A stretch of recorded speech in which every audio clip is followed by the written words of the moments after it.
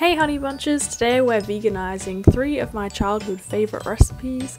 Uh, hopefully this shows you that you can really veganize anything and there's so many new products out there that can make you create even the simplest of bizarre meals, including the first one which is fish fingers, creamy mash and honey veggies. And while we didn't have this much, my brother and I were always like nagging to have fish fingers, I don't know, we probably love them um, because they're crunchy sort of fried thingies. So to make the mash to start off with, um, we're going to peel some potatoes um, and chop off all the gnarly bits, not that there's that many, and you can make mash however you like, of course.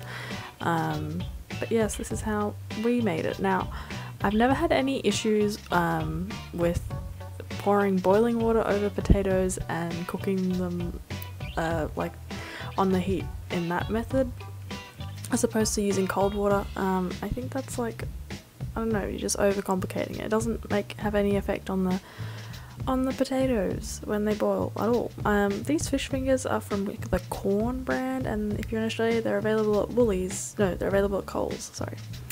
Um, hopefully in more places soon if you want to try them. For the honey veggies, I'm just boiling some frozen mixed vegetables, and then instead of using honey, I'm going to use rice malt syrup, just about a teaspoon, and mix that through. Uh, probably liked honey carrots and veggies when I was, little, I was little because they were sweet. I don't know, but I always nagged my parents to put honey on on boiled veggies. Just a weird thing, I suppose, looking back.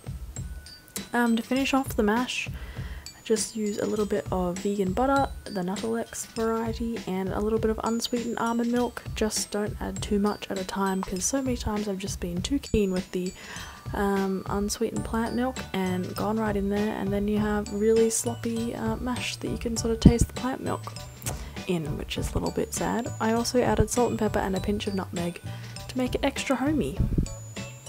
And that's all the components I think. Um, yes, it was very bizarre eating that. Um, after making this video, but it tasted exactly how I remembered it. The second thing is corn fritters, and we had these all the time, sometimes just plain corn and onion in these eggy type savoury fritters, or with corned beef, um, or with parsley, but this is a pretty simple version that I experimented with using the Orgran vegan egg, which is a new product, um, and there's the Follow Your Heart vegan egg. This is actually, I think, a better product than that. I'll put the full recipe of um, the amounts and everything on the blog but yeah, I, I'm excited. We've got an Australian brand of vegan egg. Woohoo, hey. Um, I also added some polenta to add some more corny flavour. Some plain flour, but you also want to add some baking paper to sort of aerate it a bit. I used fresh corn, but you could easily use tin corn. And then salt and pepper and some more moisture to bring it together into a savoury eggy batter. And if you haven't made my vegan okonomiyaki, that also uses a vegan egg type of product, and I've got to say, it's a pretty good substitute, you can't really tell the difference. So I also added in some onion and then fried these babies off, and look, they were like the easiest thing to fry off. There was no resistance, they cooked pretty quickly, they developed a nice golden brown um, finish, and they were super delicious and tasted very corny, very flavourful, and very like the original in my opinion. Um, the last one is just a comfort food I used to have when I was little and that was mashed potato with grated cheese on top. So I just took the mashed potato that we had made earlier um, and added some grated cheese on top. I don't know why this was a thing but I definitely had it a lot of times when I was like anxious and wasn't really hungry, had like an anxious tummy when I was younger. Um, I mean I should make it more so these days because that hasn't necessarily all gone away.